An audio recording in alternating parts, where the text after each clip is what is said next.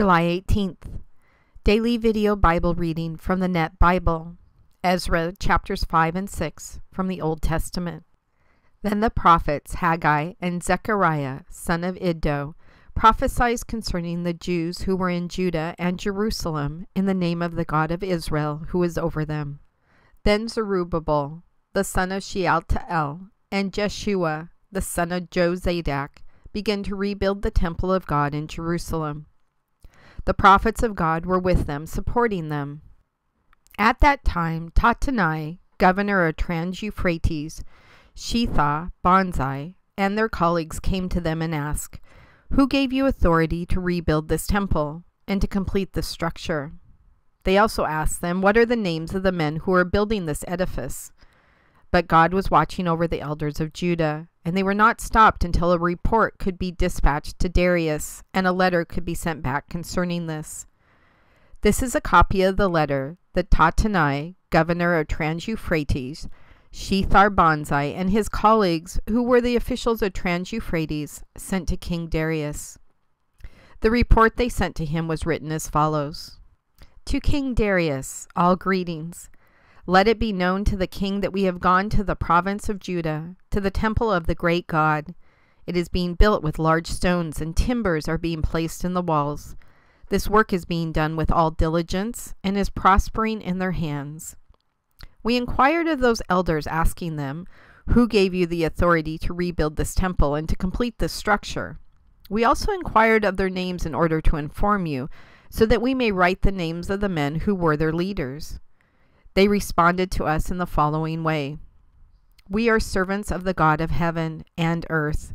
We are rebuilding the temple which was previously built many years ago. A great king of Israel built it and completed it. But after our ancestors angered the God of heaven, he delivered them into the hands of King Nebuchadnezzar of Babylon, the Chaldean, who destroyed this temple and exiled the people to Babylon. But in the first year of King Cyrus of Babylon, King Cyrus enacted a decree to rebuild this temple of God. Even the gold and silver vessels of the temple of God that Nebuchadnezzar had taken from the temple in Jerusalem and had brought to the palace of Babylon, even those things King Cyrus brought from the palace of Babylon and presented to a man by the name of Sheshbazzar, whom he had appointed as governor, he said to him, Take these vessels and go deposit them in the temple in Jerusalem, and let the house of God be rebuilt in its proper location. Then this Sheshbazzar went and laid the foundations of the temple of God in Jerusalem. From that time to the present moment, it had been in the process of being rebuilt, although it is not yet finished. Now, if the king is so inclined, let a search be conducted in the royal archives there in Babylon in order to determine whether King Cyrus did in fact issue orders for this temple of God to be rebuilt in Jerusalem. Then let the king send us a decision concerning this matter. So Darius the king issued orders, and they searched in the archives of the treasury, which were deposited there in Babylon. A scroll was found in the citadel of Ecbatana, which is in the province of Media, and it was inscribed as follows Memorandum. In the first year of his reign, King Cyrus gave orders concerning the temple of God in Jerusalem. Let the temple be rebuilt as a place where sacrifices are offered. Let its foundations be set in place. Its height is to be 90 feet, and its width 90 feet, with three layers of large stones and one layer of timber the expenses to be subsidized by the royal treasury. Furthermore, let the gold and silver vessels of the temple of God, which Nebuchadnezzar brought from the temple in Jerusalem and carried to Babylon, be returned and brought to their proper place in the temple in Jerusalem. Let them be deposited in the temple of God. Now Tattenai, governor of Trans-Euphrates, Shethar Bozenai, and their colleagues, the officials of Trans-Euphrates, all of you stay far away from there. Leave the work on this temple of God alone. Let the governor of the Jews and the elders of the Jews rebuild this temple of God in its proper place. I also hereby issue orders as to what you are to do with those elders of the Jews in order to rebuild this temple of God. From the royal treasury, from the taxes of Trans-Euphrates, the complete cost are to be given to these men, so that there may be no interruption of the work.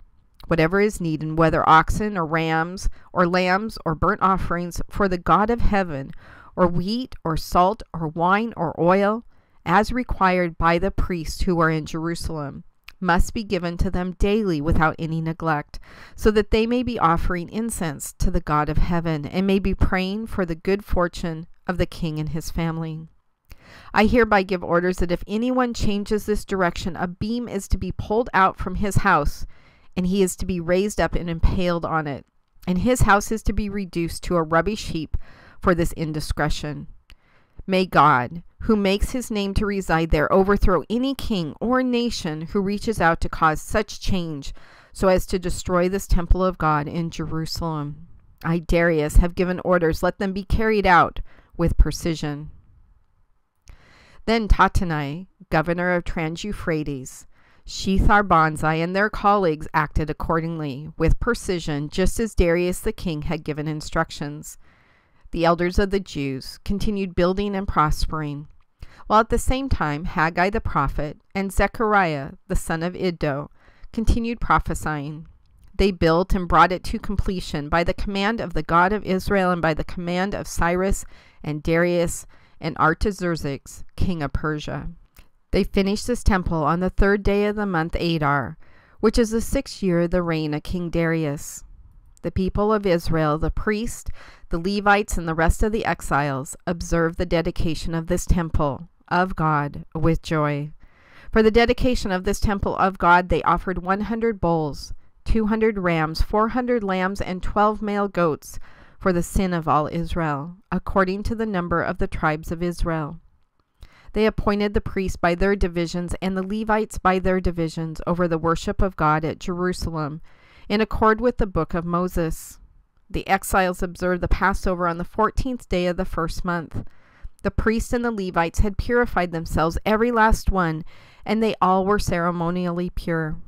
They sacrificed the Passover lamb for all the exiles, for their colleagues, the priests, and for themselves.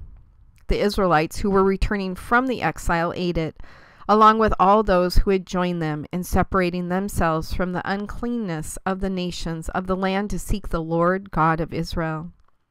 They observed the feast of unleavened bread for seven days with joy, for the Lord had given them joy and had changed the opinion of the king of Assyria toward them so that he assisted them in the work on the temple of God, the God of Israel.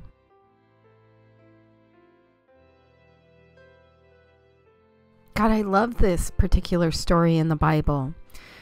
From the obedience of those building the temple when asked who they were, instead of saying their individual names and making it about them, they said, We are servants of the God of heaven and earth identif- identifying themselves purely as as your children, as your servants who are doing exactly what you called them to do. And it goes on through people who are kind of fuss budgets. Uh, it's not like uh, the Tattenai, um, the governor, is being as much of a pain as other people who actually wanted to stop the temple building. But he is fussing. He and his colleagues are doing some fussing around uh, when they write to King Darius and so I, I love that they write this letter kind kind of saying, um, we're in charge here and there's a temple being built in the middle of everything we're in charge of and we're not really sure what's going on. So they're saying that King Cyrus, who ruled before you, told them that they could do this. Um, so could you check your records and see if what they're saying is factual? Now, I kind of laugh about this because so much of my world is online, right?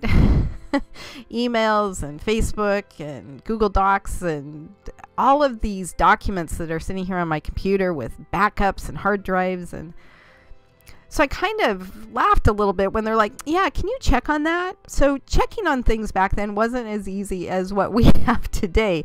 I can't just do a search on my computer for the document where King Cyrus either did or didn't approve the temple they actually had to go through all of the royal scrolls, open them all up, unroll them, read them. Oh, this is not it. Roll them back up, put them back in, take the next one down. Like, I can't even imagine how much work this must have been. And what is really funny is they went to the royal archives and it wasn't there. and yet you you worked on their heart and they and you said yeah if it's not there where else could it be well uh, we know that king cyrus had a summer type of home for the persian kings and so they checked there and lo and behold they ended up in their process of looking at scrolls found one of the scrolls that was the royal edict uh, of king cyrus saying yeah not only do they get to build this but by the way we're going to fund them doing this now, I also equate that a little bit to my time period where, uh, one, we wouldn't have to go back through the records like that because we'd have everything at our fingertips the way everything's computerized now. But I just think of our current president going back and approving something that he had overridden from a previous president. Um, so it's so obvious that you're completely in control here. You're completely working on all these hearts, manipulating all of these situations to be your will uh, in getting this temple built. Uh, so they find the the royal decree from King Cyrus in his summer home, his summer palace, and King Darius technically could have overridden this. I mean, he had power; he was in charge at that time, and yet he didn't. He read this, and through through respect and through a change of a heart that obviously was from you, uh, he said, Okay, so uh, Tattenai, governor of Trans Euphrates, and all of your colleagues, uh, not only will you allow this to happen underneath your rule in your area, uh, but by the way, we're also going to fund this for them. Can you imagine those guys getting that letter and going, oh, shoot, all we wanted to do was check and see if they could even do this. Now we have to come up with the money to pay for it. Um, and then what I love at the end of this story as as things things transpire and the temple actually gets built at the end of the year, so all of the New Year celebrations are right there for this new temple. Um, it says they, at the very end of this, that they observed the feast of unleavened bread for seven days with joy, for the Lord had given them joy and had changed the opinion of the king of Assyria toward them, so that he assisted them in the work on the temple of God, the God of Israel. And we just saw you use the king of Assyria to destroy your people, to use uh, the king of Assyria as their consequence for not behaving, for not being obedient to you. And you used him for destruction of your people. And now you're using him for the construction of your people. And I love that from destruction to construction by using someone who's who wasn't one of your people and yet here he is uh, coming around and actually helping your people your called people to build their temple. And I think of our lives, God, all of the destruction that is our intention of, of self sabotaging our lives, of that destruction. And then for you to come in and do all this construction on our heart and build up our lives so that we can live it for you. God, I just love this story. Thank you so much for sharing it in the Bible, showing us your power, your sovereignty, your will and also showing how the obedience of your people uh, can start to affect the rest of their community. Absolutely amazing. Destruction to construction. In your son's name we pray. Amen.